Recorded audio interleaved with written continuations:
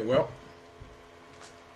let me just. Um, I did a video earlier today, but wasn't able to uh, get a good signal, so um, I'm doing it here uh, in my in my office at home. Hey, what's going on, Ruth? Good to see you, my sister. Excuse me. So um, I want to just discuss some things uh, that's been on my mind and on my heart um, for quite a while. For quite a while uh, now, um, I've been doing ministry, particularly pastoral ministry apologetics, uh, for about 15 years, uh, 15 plus years. I mean, um, I've been saved for 16 of those uh, 15 years, and so I basically, you know, uh, had a insatiable desire. What's on? What's going on, EC? Hey, Latanya, good to see you, woke sister. Um, had had an insatiable desire since my conversion back in uh, 2000. Uh, got in pastoral ministry uh, in 2001 at my uh, first church uh, here in Houston, and um, just had an insatiable desire to learn, to to read, to study, to to understand uh, the doctrines that I hold dear today. Of course, being you know younger, there there's zeal uh, that if not if you're not careful can can cause more damage than good. Uh, what's going on, Edwin? Uh, that can cause more damage than good if it's not uh, you know contained uh, in its proper you know uh, context. So during the course of my life, you know there have been there have been you know discussions, debates, you know that kind of thing. You know, looking back on them, could have done things differently, could have done things better, but nonetheless, it has never taken away the desire nor the calling. Uh, to be a watchman on the wall, to be an apologist. Um, I, I, am still a pastor. Um, the Bible says the gifts and callings of God are irrevocable. Um, so, you know, what God has called me to do, I'm pretty sure that there are a lot of people, you know, uh, like myself, who has a love for the church, uh, who has a love and a desire to see God's name honored, to see Christ exalted, and not to not to have the Spirit of God blasphemed. And so, what we strive to do, people like myself, what we strive to do is to raise awareness uh, to the church, raise awareness to the body of Christ, sounding the alarm, uh, bringing attention to, to issues and to things that may cause uh, people to, to stumble into sin, that may fall into carnality, worldliness, and even ultimately lose their soul uh, if we're not um, careful. Uh, so I, I, I come as a fellow brother in Christ. I do not come with a superiority complex. I don't come looking down uh, my nose upon my brothers and sisters in Christ, but I do come uh, come graciously, but also come boldly, and I come straight with it.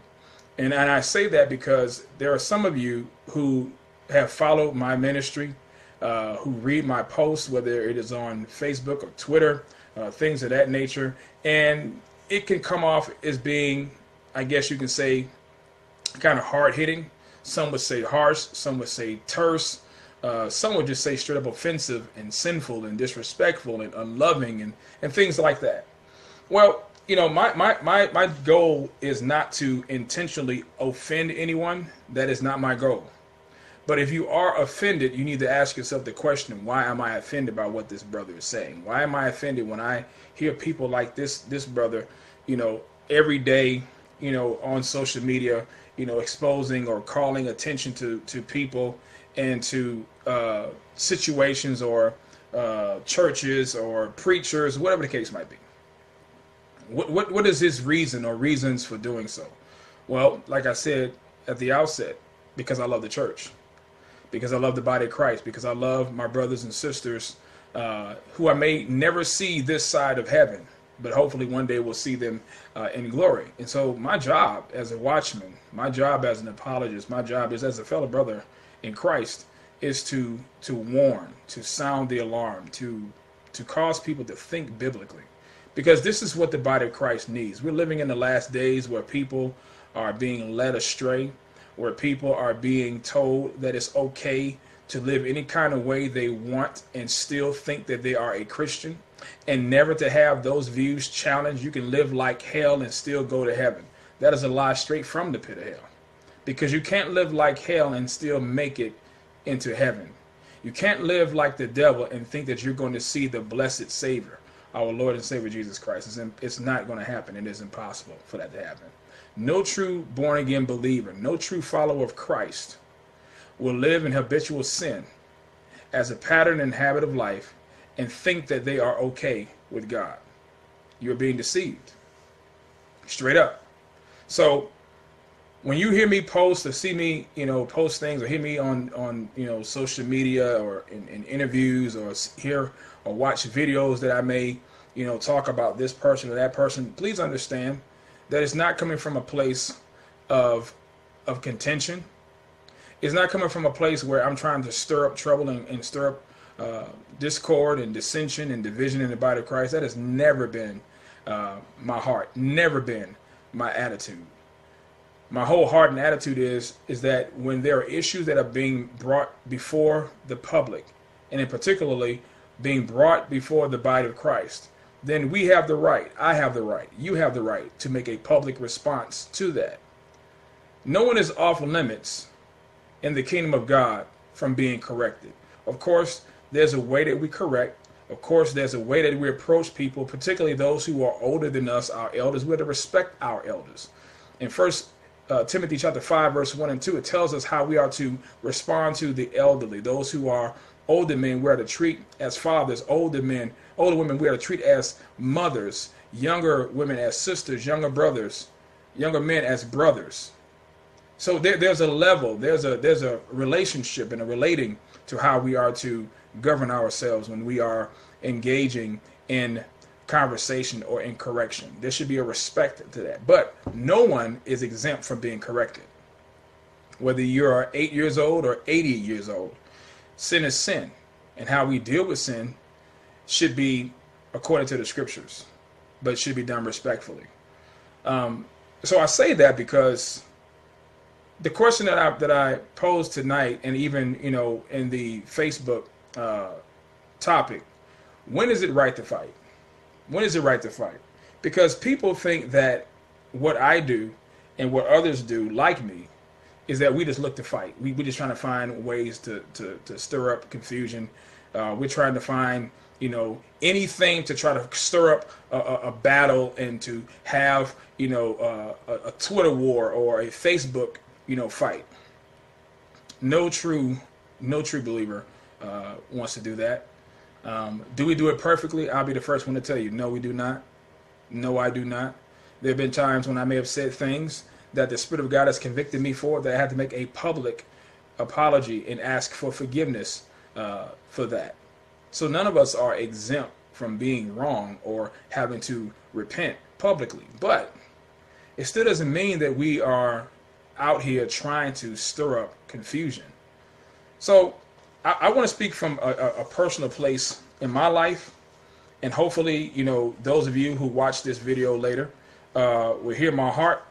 And at the same time, you know, challenge yourselves regarding uh, people who are watchmen, people who are, you know, those who stand on the wall and and and look at what goes on in this world. And you know, just just this past month we had an election, and, and I saw, unfortunately, a lot of people's true colors regarding two candidates that I believe caused more division and strife in the body of Christ than when Barack Obama ran for office uh, twice in these past eight years.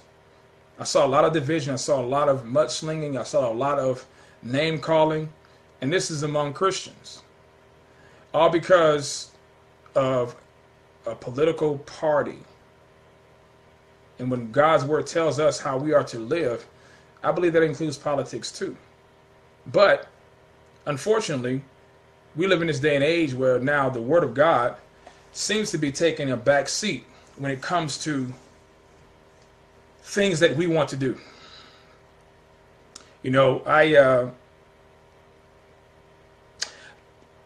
I basically have been slandered, attacked, maligned, uh, misrepresented because of what I do.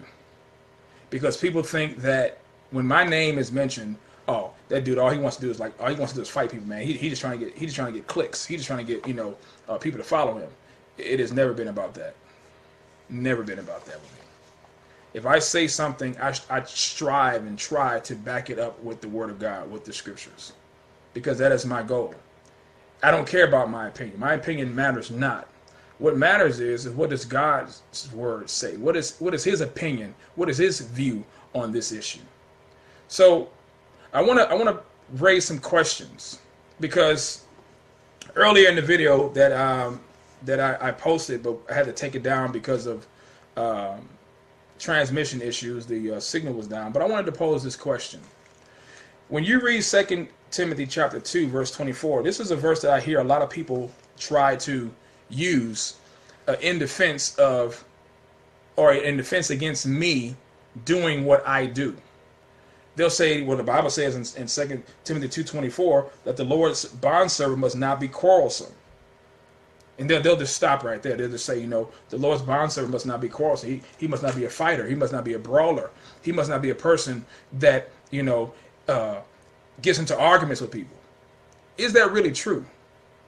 When we read 2 Timothy 2.24, is that what Paul is really saying? Is, Paul really saying that no Christian or, or people like myself, that I shouldn't get in any type of uh, arguments, debates, quarrels with anyone? If you believe that, then I believe that you're not reading your Bible, that you're not properly exegeting and interpreting the text according to what Paul meant by what he said in 2 Timothy 2:24 because what God has called me to do may not be what God has called you to do. So if God has called me to expose and if God has called me to call out and to confront people, situations, and issues for the purpose of raising awareness and, and, and causing people to think biblically, then to say that I'm being quarrelsome because you don't like my approach or you don't like what I say or how I say it, then you're violating Romans 14. You're telling me that basically your view and your and your perception and also your preference now needs to become my precept. And the Bible says, "Who are you to judge the servant of another?" To his own master he stands and falls. So I just understand that when God has called me to a task, I'm going to be faithful to the task that he has called me to do. I'm not I'm not so concerned about what God has called you to do. As long as what you're doing does not cause other people to sin. See, any calling that God gives, it doesn't cause us to sin. And it does not cause us to, to, to cause other people to sin against their brother and sister.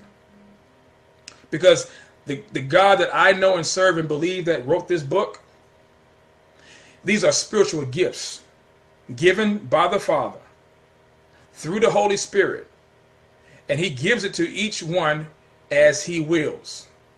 So just because you don't like what I say, or just because you don't like what people like me or Patrick Hampton or whoever, whoever, G. Craig Lewis, it doesn't matter who they are.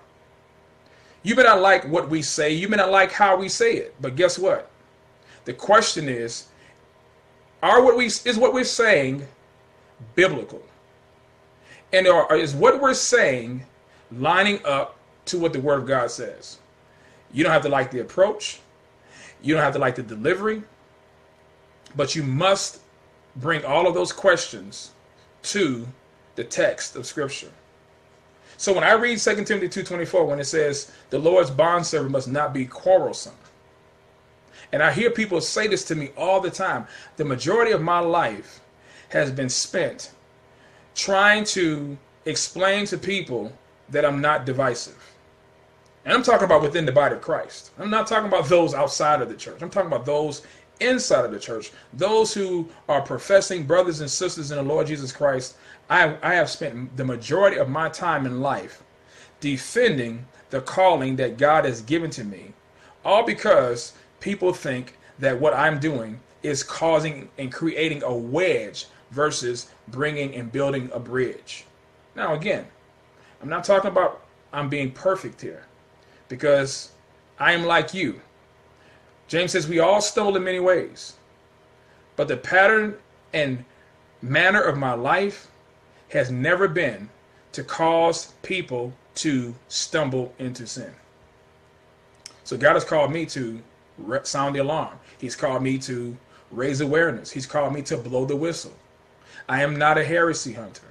I'm not a person who has to look for false doctrine. Last time I checked, every time I wake up in the morning, there's false doctrine, there's error, there's heresy, there's false teaching and false teachers all over the internet. So I don't have to search for anything, it's right there. So, what I'm saying is, when you read the text in 2 Timothy 2:24, does that mean that people like me and others who stand the wall that we are guilty of violating that text? I would say no, and here's why. Because context matters. The preceding verse of 2 Timothy 2:24 says this in verse 23. He says, "But refuse foolish and ignorant speculations, knowing that they produce quarrels." He's talking to Timothy and telling Timothy, Timothy, this is how you need to govern yourself. This is what you need to watch out for. This is how you need to carry yourself. This is what you need to do. This is how you need to engage in conversations with certain people. He says in verse 23 again, but refuse foolish and ignorant speculations, knowing that they produce quarrels. Then he brings a conjunctive into this text in verse 24 and the Lord's bondservant must not be quarrelsome. See, when you read it and isolate it from its intended context, you have people like me sounding like we're guilty for getting into quote unquote quarrels. The question is, what kind of quarrel is Paul forbidding Timothy and those of us who are ministers of the gospel? And technically, every last one of us as Christians are ministers of the gospel. Paul is not saying that we are not to engage in any kind of quarrel. He qualifies what kind of quarrel that we are not to engage in in verse 23 and connects it with verse 24. I'll read it again, and hopefully the flow of it now will make more sense than what you have been reading before or what have what people have been telling you how to read it. 2 Timothy chapter 2 verse 23 and 24. It says, but refuse foolish and ignorant speculations, knowing that they produce quarrels. And the Lord's bondservant must not be quarrelsome. Does that make better sense to you now? He says, avoid these kind of conversations, foolish, ignorant speculations, because it produces quarrels, it produces fights, it produces contentions. Paul is not saying that you and I are not to engage in quarrels when the gospel or when the truth is at stake. And I'm going to prove my point in just a moment. Because in verse 23, the word for quarrelsome, he says this is the person that likes to fight, that likes to engage in word battles. That's not my attitude. That's not my heart. That's not what I do because I'm not a quarrelsome person. But I will quarrel with anyone who violates God's word for the sake of truth. But I don't quarrel about foolish speculations. That violates the text. So, when is it right to fight? When is it right to get in with people who violate and who cause people to stumble into sin? Because if you're saying that Second Timothy chapter 2 verse 24 forbids Christians to get in any kind of argument, then now you're going to be faced with some other paradoxical texts. Amen, Scott. Avoid foolish and ignorant disputes. It has nothing to do about contending and defending the gospel from corruptors. Exactly, brother. Exactly. And I don't know about you, Scott, but I, am tired of hearing people telling me that 2 Timothy 2.24 is what I'm violating when I know I'm not violating it because maybe they don't understand or maybe they have been taught wrong, but it's time out for being taught wrong. We need to teach and say what the Bible says. Because again, if 2 Timothy 2:24 is a prohibition for people like me and even people like Scott Newman and, and, and, and countless other brothers and sisters that I see that are trying to sound the alarm and, and, and, and raise the, the, the, the awareness of the body of Christ, when we see all this kind of foolishness going on, then what you're telling me then is, is that we can't say anything. And I don't believe the Bible teaches that. So he says, the word for quarrelsome, it means to fight, to engage in a war of words, to quarrel, to wrangle, to dispute. It doesn't mean that you and I walk around trying to look for things to fight about. No, no, no, no, no, no, no. He qualifies what he says in verse 23 that we're to avoid foolish and ignorant, moronic and uneducated, ill informed arguments, is what Paul is admonishing and, and advising his protege Timothy not to engage in. And I hope I'm making sense because I want to free some people up. Because if God has called you to be a watchman, if God has called you to be a person to warn the body of Christ, because we need that in the body of Christ, we need people with discernment. We need people that are going to stand up, speak up, and step up against the sin that is going on in our churches. And I'm as sure as God has called me to do that as I am sitting here in front of you right now tonight discussing this topic. But if people are saying that 2 Timothy 2.24, uh, you know, say, go, the Bible says, you know, the, the, the Lord's bondservant must not quarrel. Well, you know what? Here's an interesting point that I want to ask you and question you with. If that is your take on that, then what do you do with Proverbs 28, verse 4? Some of you may not even read Proverbs 28, verse 4, so I'll give you some time to turn there. In Proverbs 28, verse 4, this is a wisdom literature, of course, so the principle is still true. Proverbs 24 says, Those who forsake the law praise the wicked, but those who keep the law strive with them.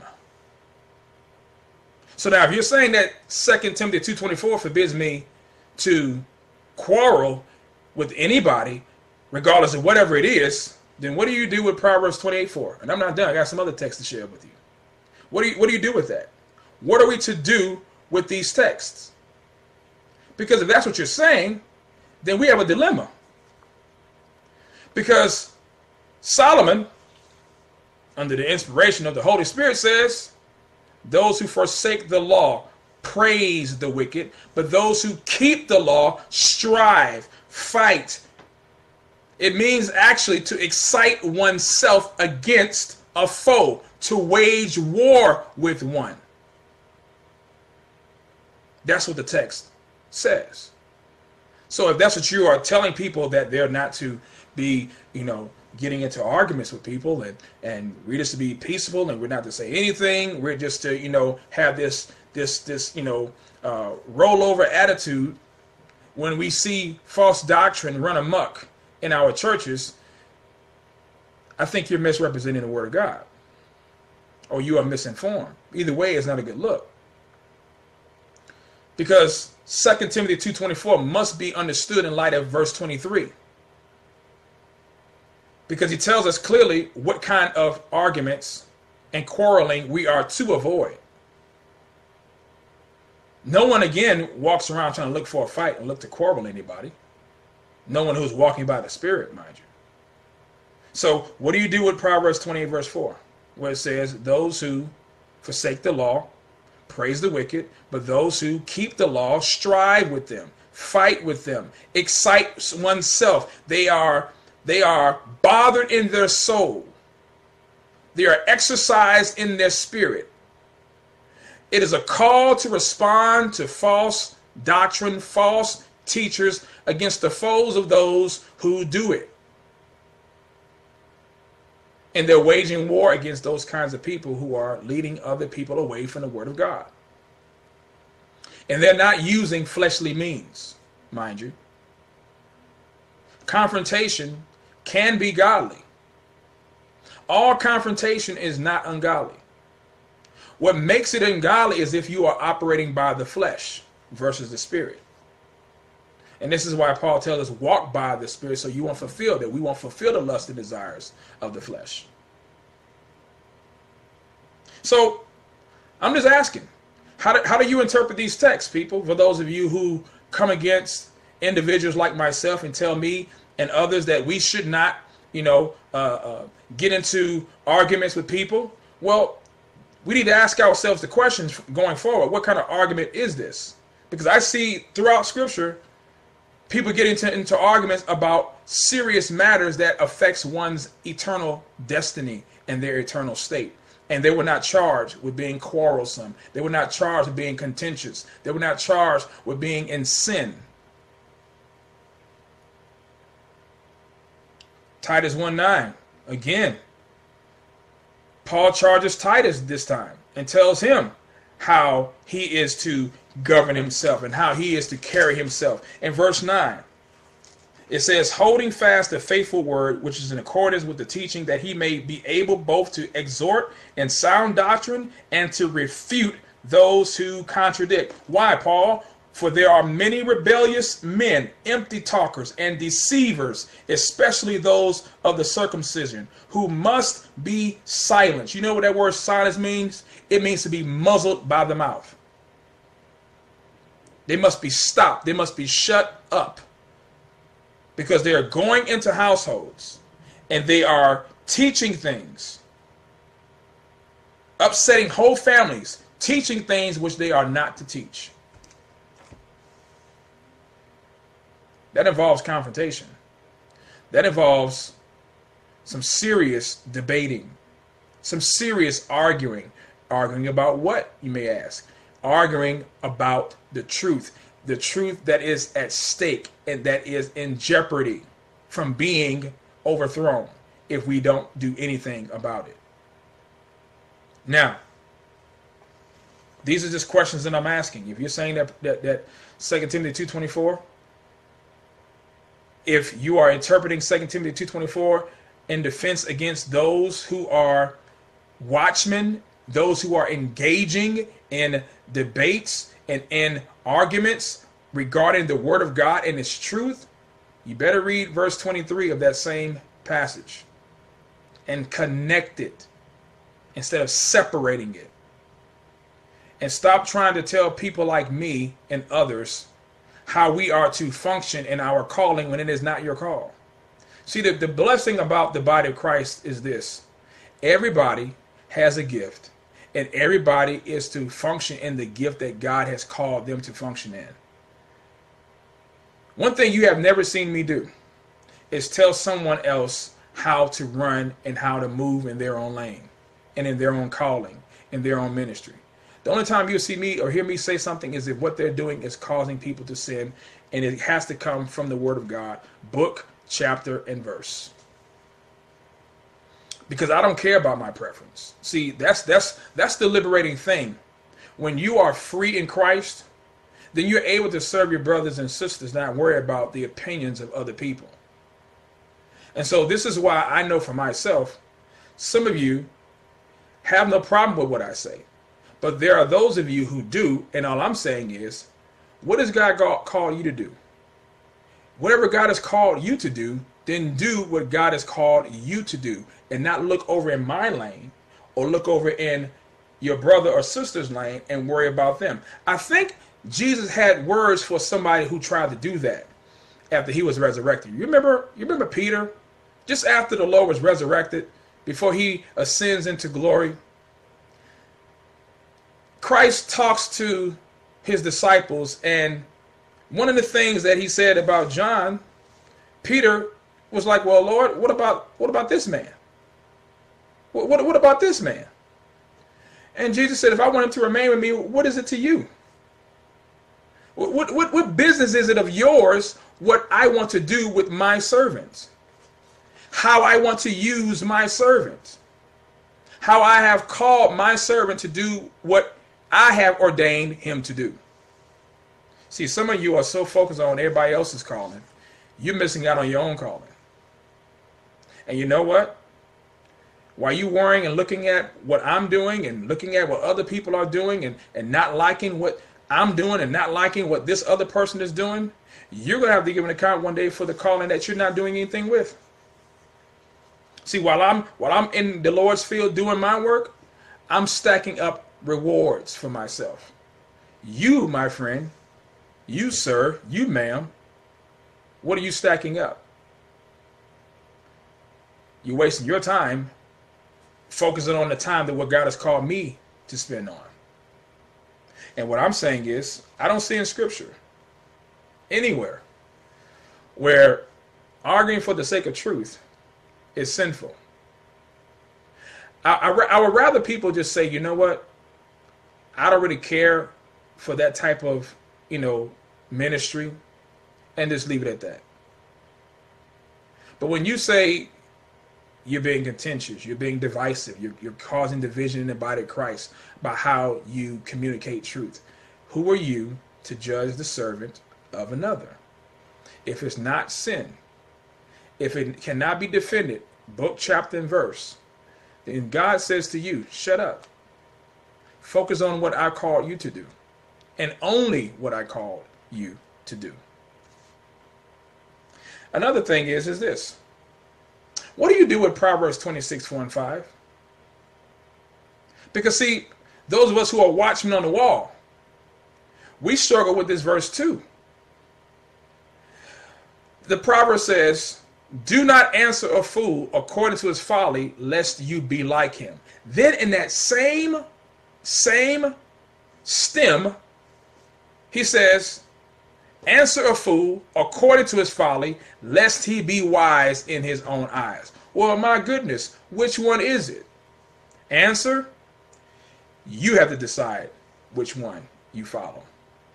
There's a time when you don't engage a fool, the Bible says, and then there is a time when you must engage a fool, lest he or she be wise in their own eyes. And you know what that means sometimes? That may cause for sarcasm. That may cause for a strong, stern rebuke. Paul did it to the Corinthians in his writings to the Corinthians. You are already rich. You are already this. You are already that. You become kings without us. Paul is using sarcasm to respond to the foolish claims and foolish assumptions of the people that were following false teachers. There's a time and place for that kind of behavior. But just because you don't like it does not make it sin. You just don't like it. I don't I don't waste time trying to tell people how to serve God if how they're serving God is according to what God's word says how they're to serve.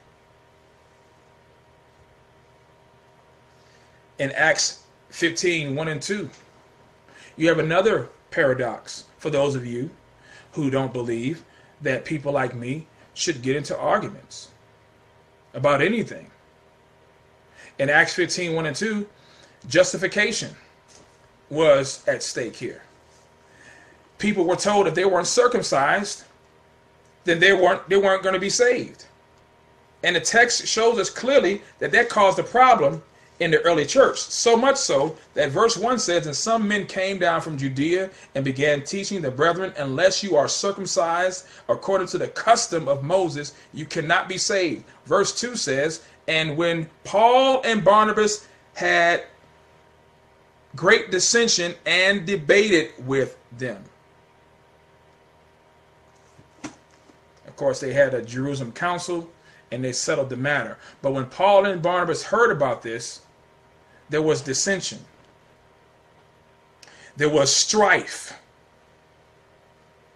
There was a mutual conversation going on, but it wasn't just this, oh, brother, we just disagree. We're going to agree to disagree. No, no, no, no, no, no, no. No, sir. No, ma'am. You have souls now at stake. You have people now thinking that they must undergo some type of ritual under the Mosaic law, which was already done away with when Christ fulfilled it. According to the custom of the Mosaic law, these people were being told to do something in order to be saved. They were being told that works now precede salvation. And this is why Paul and Barnabas had to take this matter to the mat. They had to plant their flag on a hill and be willing to die for that. And so they had a heated debate, heated dissension. Let me read it again because I want y'all to read it, hear this, because I don't want y'all thinking I'm making this stuff up. I mean, because after all, you know, who am I?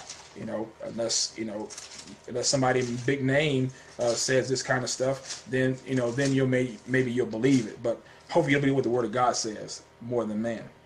And when Paul and Barnabas had great dissension and debate with them, great dissension, mega decision, dissension and debate. I'm just asking. The word for dissension is strife. So if you're saying, well, 2 Timothy 2.24 says we're, we're not to strive. Well, strive about what is the question? Strive about what? What are you striving about? Are you striving over foolish questions, foolish arguments, foolish speculations? Then yes, that text applies. But if you're striving about the truth because souls are being lost or have the possibility or propensity to be lost in an eternal hell, then that's not sin. We're to strive for that. We're to contend for the faith once for all delivered to the saints, as Jude 3 says. So, what do you do with these texts? And these are just a few. This is not even all of them. What do you do? Do not answer fool. Answer fool. What do you do? The Lord's servant must not strive, but then you see those who forsake the law praise the wicked, but those who keep the law strive with them. Is the Spirit of God bipolar? I think not. Or do we need to step our hermeneutical game up? I think so. Here's another one.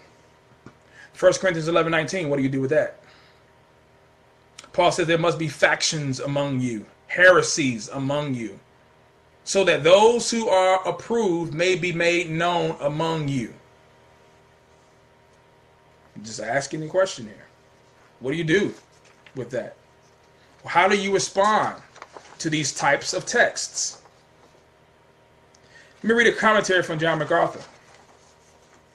He says, quote, Paul was well aware that division cannot be entirely avoided.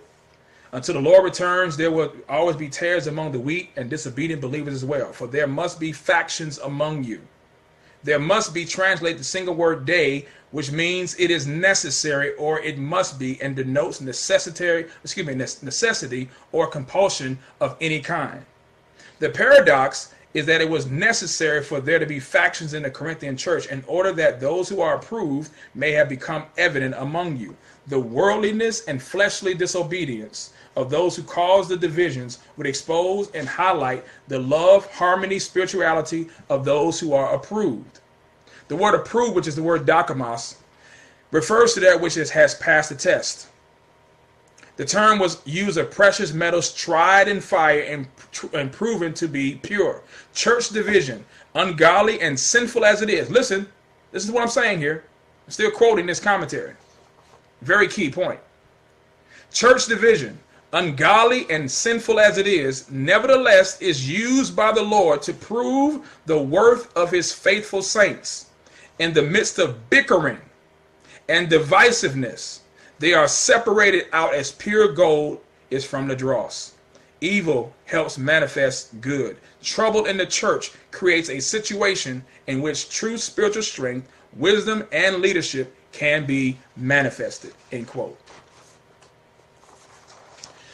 The reason why I want to talk about this stuff, because I have yet to hear anyone say, when I hear people quoting 2 Timothy 2.24, I always hear them isolate that text and try to have people like me, and maybe they're doing it and they don't even realize that they're doing it. But nonetheless, it's being done. Because it causes people like me to say, well, but man, I mean, my goodness, then uh, when, when can I say something? Well, brother, you know, you know, the, you know, the Lord's servant must not be quarrelsome. I'm not quarreling. I'm just I'm just dealing with this issue and I'm I'm trying to raise awareness and expose sin that is being propagated in the body of Christ and it seems like no one wants to say anything about it. Oh, well brother, you know, you don't want to you know, you don't want to, you know, try to, you know, you don't want people to think that you are a contentious person. Let me tell you something. I can care less what people think about me. And let me qualify what I'm saying by that. If your attitude and, and focus and purpose is to basically tell me that I shouldn't say anything because people are going to, you know, uh, look at me a certain way, then here's the question that I ask you then. What about Paul? Because Paul says, if I was a pleaser of man, I cannot be a servant of Christ. Brothers and sisters, you can't have it both ways. Know your calling. Trust that God will give you the strength to do what He has called you to do. Those who love you will support you. Those who don't, won't. Those who misunderstand you, if they are willing to understand you, then you engage them in conversation to help them understand you better. But what you don't have time to do is to prove that God has called you to do this.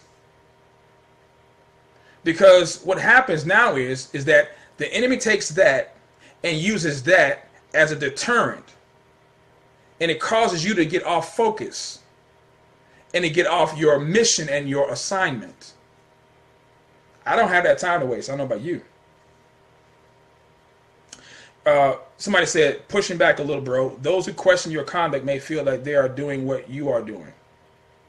They are they feel responsible for, for how you can influence others. Well, here's the thing. All of us are influencing somebody. The question is, what am I influencing people to do? I'm influencing people to think biblically. I'm, I'm influencing people to think godly. What I'm not trying to influence people to do is to not do what God has called them to do. See, again, this is my point. I'm saying if God has called you to be a watchman or to be an evangelist, whatever the case might be, whatever whatever the calling is that's found in God's word, then you do that. You be faithful in that and you let God sort out the rest of that stuff. Because here's a question I, I try to tell people all the time and ask people all the time. If you don't like how I'm doing something and then I have to do it your way, then what happens when somebody else comes along after you, mind you, and they say, well, I need to do it their way. And then somebody else comes along after them and says, well, brother, I think you need to do it this way. You need to be more this or, or less this. So then, my goodness, then when can I be what God has called me to be? I'll wait.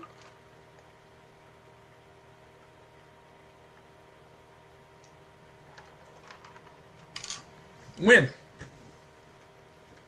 When was Saiko, of those who are called to do what I'm doing, when are we free to function and to be what God has called us to be?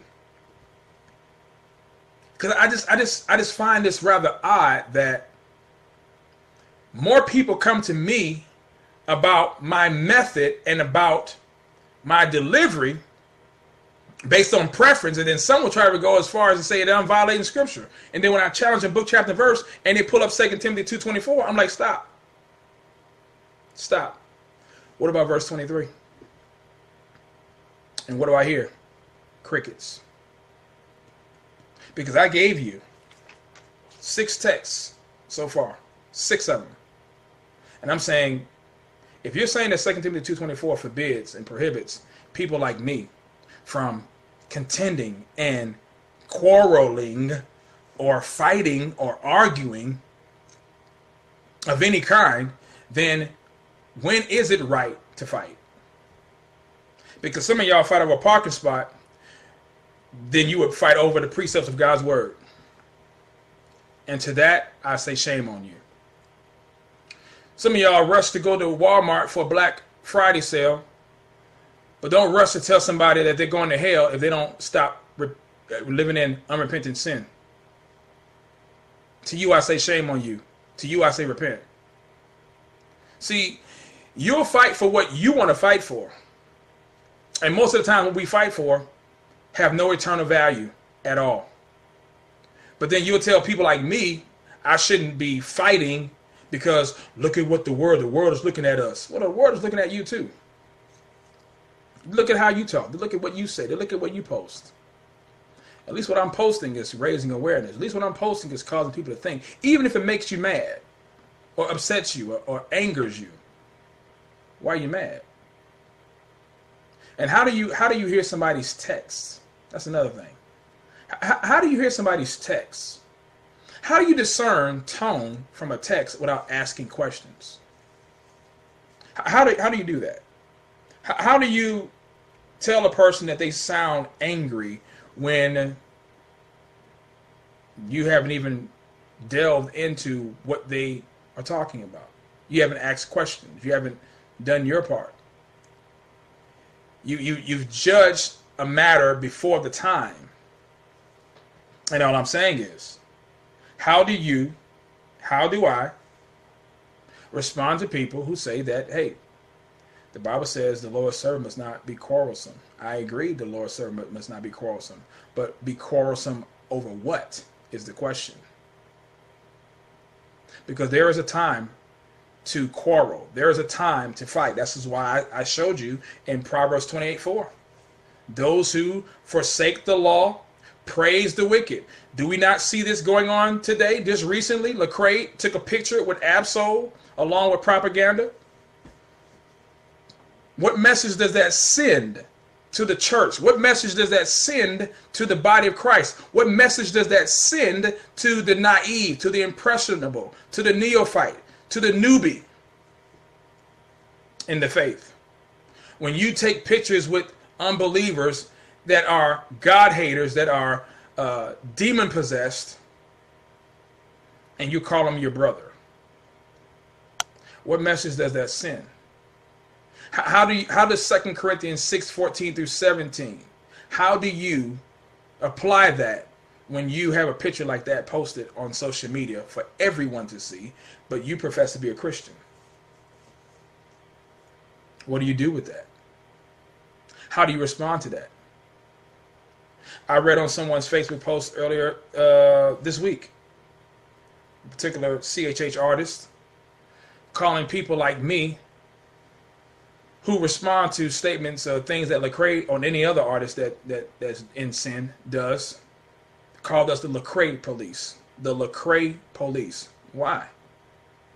When, when is it wrong? When had it, when did it become wrong to expose sin? When has it become wrong, or when did it become wrong for us to apply Ephesians 5:11 that says have nothing to do with the unfruitful deeds of darkness but rather expose them.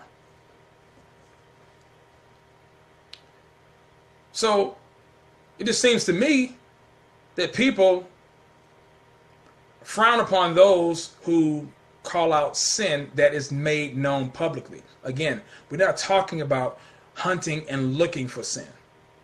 I'm talking about sin that's made manifest, that is made known. It's being posted as if it's not sin. And you better not say that it is sin. Because if you say that it's sin, I'm going to call you a Pharisee. So now they're telling you and I that we're the ones that's not saved. Because the Pharisees were not saved. Yeah, they knew Bible, but so did Satan. And this is the world that we're living in.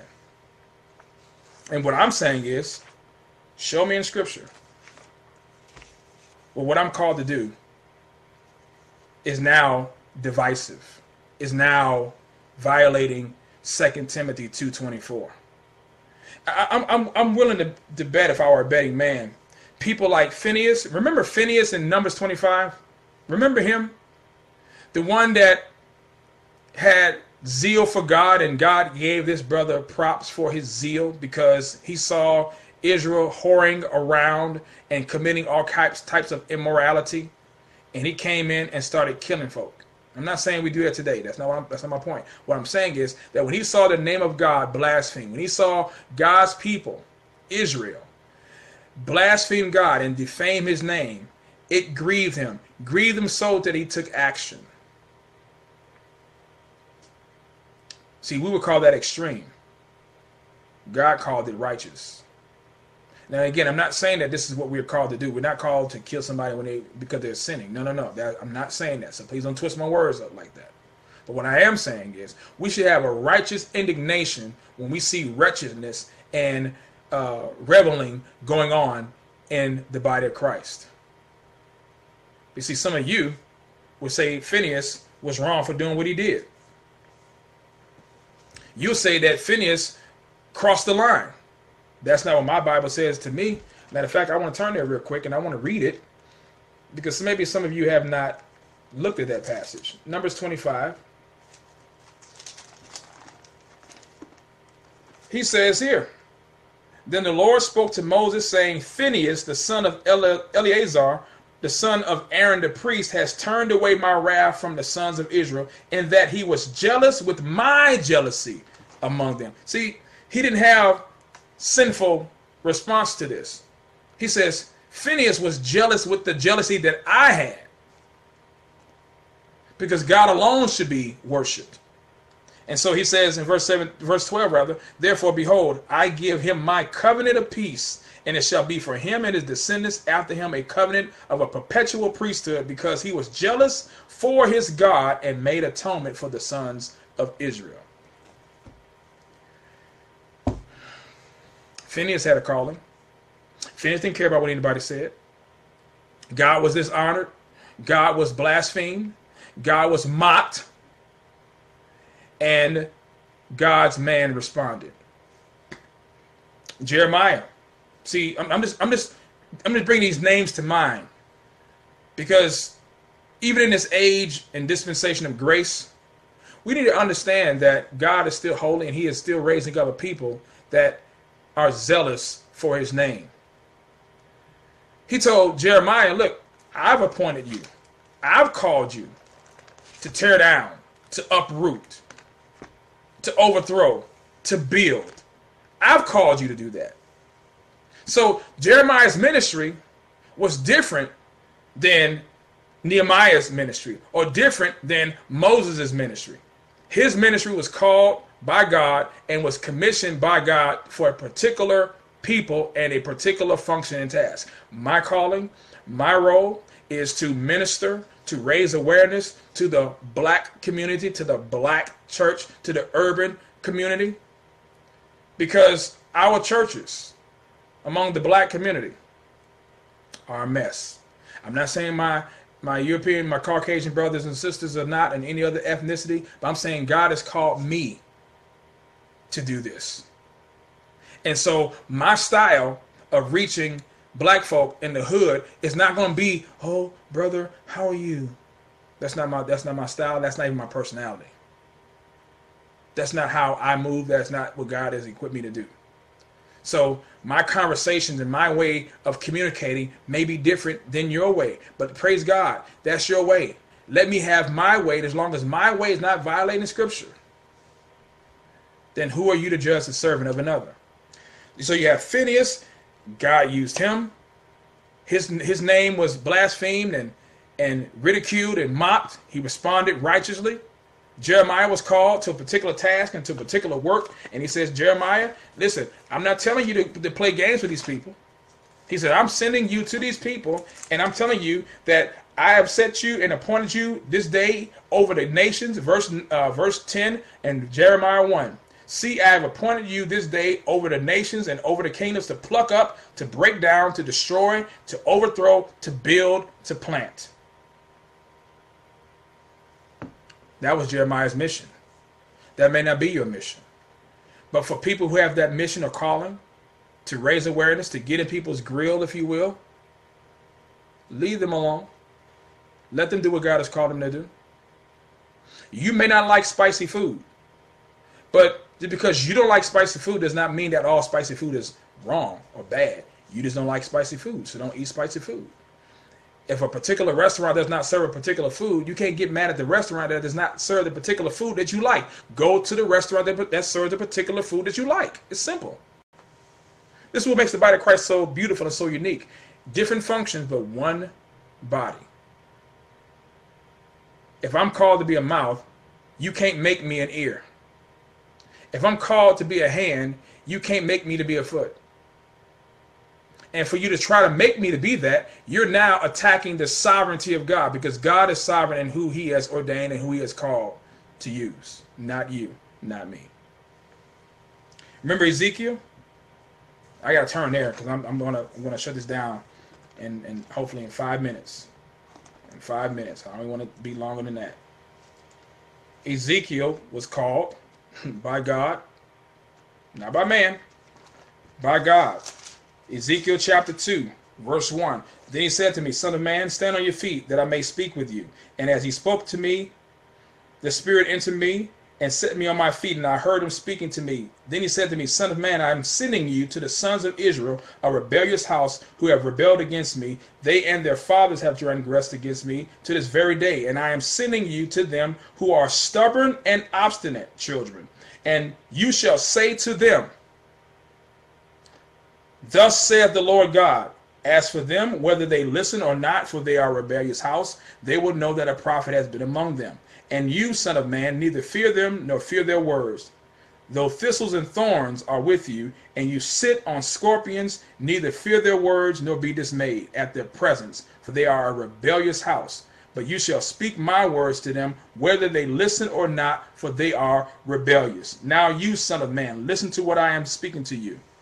Do not be rebellious like the rebellious house. Open your mouth and eat what I am giving you. Then I looked and beheld a hand was extended to me, and lo, a scroll was in it. And when he spread it out before me, it was written on the front and back, and written on it were lamentations, mourning, and woe. Verse uh, chapter 3, verse 4. Then he said to me, Son of man, go to the house of Israel and speak with my words to them. Notice, speak my words. Speak with my words to them. For you are not being sent to a people of unintelligible speech or difficult language, but to the house of Israel, nor to many peoples of unintelligible speech or different language, whose words you cannot understand. But I have sent you to them, who should listen to you. Yet the house of, of Israel will not be willing to listen to you, since they are not willing to listen to me. Surely the whole house of Israel is stubborn and obstinate. Behold, I have made your face as hard as their faces, and your forehead as hard as their foreheads, like emery, harder than flint. I have made your forehead. Do not be afraid of them or be dismayed before them, for though they are a rebellious house. See, some of you can't do what I do because God has not equipped you to do what I do. And you know what? That's fine. That's fine. However, God has equipped you to engage the culture and engage the people that is in your life, in your sphere of influence, then do that. But please stop trying to tell me and others who do this every day that we are violating God's word, that we're being contentious, that we're being quarrelsome. Quarrelsome about what? About your preference? Remember, last last point. Here's what I'm saying in all of this. Here's what I'm saying. All of this is what I've just said in the past hour. And thank you for listening to me. At the end of the day, brothers and sisters, I'm not the divisive one. I'm not the quarreler. I'm not the one that is sowing discord and, and causing confusion. Regardless, and despite what people may think and say, that is not what God has called me, because I know what He's called me to do. So I'm not the one that is causing division. I'm not the one that is stirring up confusion. That was the same accusation that Ahab gave to Elijah. Remember that in 1 Kings 18, I believe in, in verse 17 and 18? He says, Is that you, you troubler of Israel? And Elijah said, I'm not the one that's troubling Israel. You're the one who is troubling Israel by leading them to obey and follow false gods. Elijah was spreading rumors around, I mean, excuse me, Ahab was spreading rumors about Elijah all throughout Israel, calling this man a troublemaker. He called him the troubler of Israel. And some of you are making statements about me and making statements about other brothers and sisters and saying that we're being contentious, that we're being quarrelsome and all that. You need to stop that. You really need to stop that. Because even in Jude, Jude 19 says, These are the ones who cause divisions, worldly minded, devoid of truth. I'm not worldly minded. I'm not without the Spirit. That's who causes the divisions, not those who are filled with the Spirit, and not those who are not of this world. So, all I'm saying, brothers and sisters, tonight is this When is it right to fight? It's right to fight when God's word is being attacked and his people are being led astray. That's it. If you want to get in contact with me, you can reach me, Saiko Woods at yahoo.com, S A I K O W O O D S at yahoo.com. Thank you for your time. Have a blessed weekend and whatever you do,